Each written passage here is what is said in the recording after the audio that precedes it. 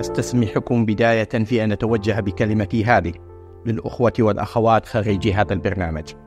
أسرهم بالقول والمعنى وأذكرهم بما اختصهم به جلالة السلطان المعظم حفظه الله ورعاه حين خاطب هذا الجيل من الشباب قائلا إن الشباب هم ثروة الأمة وموردها الذي لا ينضب وسواعدها التي تبني هم حاضرها هم حاضر الأمة ومستقبلها.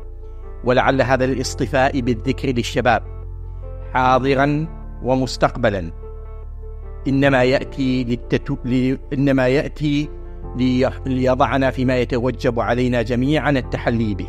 فالحاضر هو ما تعيشونه اليوم وهو ما سعت هذه الأكاديمية من إثارته وتبصيركم به.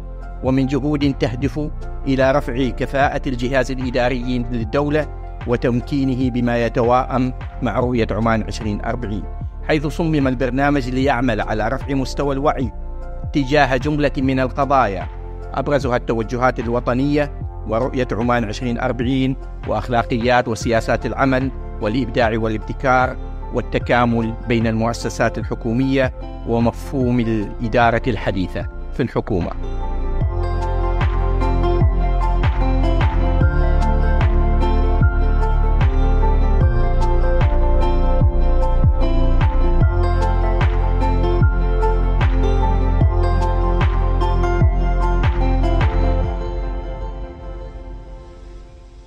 طبعا برنامج إلمام كان برنامج ممتاز للموظفين الجدد هو ركز على خمس محاور رئيسية.